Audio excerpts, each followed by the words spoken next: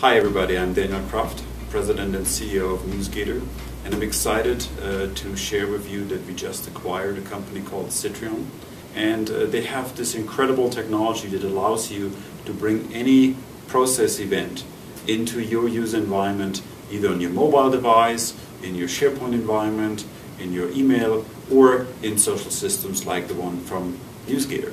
And I'm excited to have Markus Dopp here, who's the founder and CEO of Sitrion. So Markus, welcome to the family. Thanks. Excited to have you here.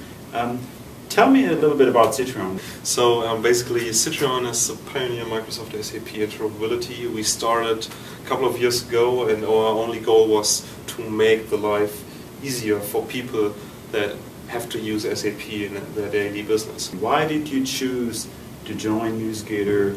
What is your expectation from this, um, you know, this extended family Yeah. we're forming now? So our main tagline, our main theme is work simplified. We were focusing on bringing processes to the user. But what was missing is actually the whole social interaction. Because if you need to approve a purchase requisition, or if you are an employee and you want to request a leave for next week, then it just makes sense put in all your questions and answers into a discussion. So this whole mix of social collaboration Mhm. and structured uh, structured process integration is really the next step for every enterprise.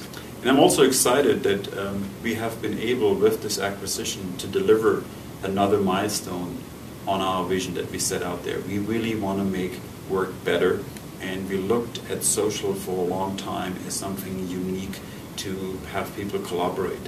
What we learned in the last years is that social is also making businesses more successful.